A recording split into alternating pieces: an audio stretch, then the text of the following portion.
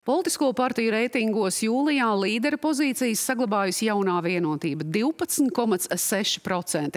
Tāda lika ir partiju reitingi salīdzinot ar iepriekšējo mēnesi, un šeit ir arī partijai jaunā vienotība neliels pieaugums.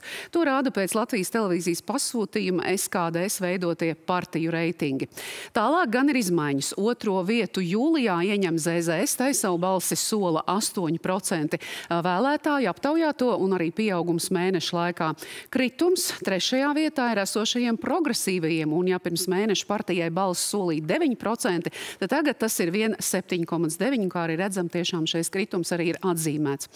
Latvija pirmajā vietā noslīdējusi no otrās vietas uz ceturto pozīciju. Jūlijā par šo partiju balsot solīja 7,4%, bet kā jau redzam, mēneša, vasaras pirmajā mēnesī tie bija 10% aptaujāto. Kritums arī Nacionālajai apvienībai un jūlijā 5,3% atbalsts.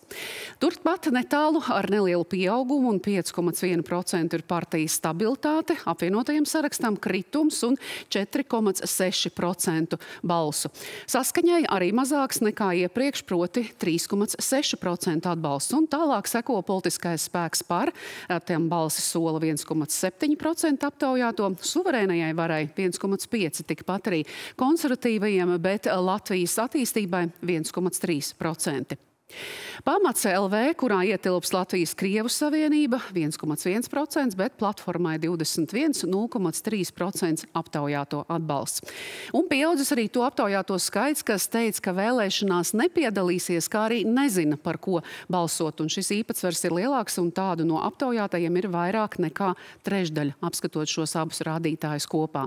Bet kurš iekļūtu saimā, ja vēlēšanas būtu notikušas jūlijā? Pārēķinātie reitingi un šeit šeit atgādināšu, ka vērā tiek ņemts arī cik kuras partijas atbalstītāji ir apņēmīgi doties uz vēlēšanām.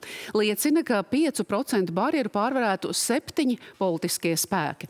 Un te mēs redzam, ka jaunā vienotība ir līderos, otra ir progresīvie, pēc tam Zaļo un Zemnieku savienība, pēc tam arī saimā potenciāli iekļūt Nacionālā apvienība, Stabilitātei un apvienotais saraksts, kā arī Latvija pirmajā vietā. Pārējās partijas zem 5% barjeras, bet saskaņa, kura iepriekšējās vēlēšanās saimā tā arī neiekļuva, vismaz jūlijā pēc aptaus datiem būtu mata tiesas attālumā no iekļūšanas parlamentā. Tāda lūk dati.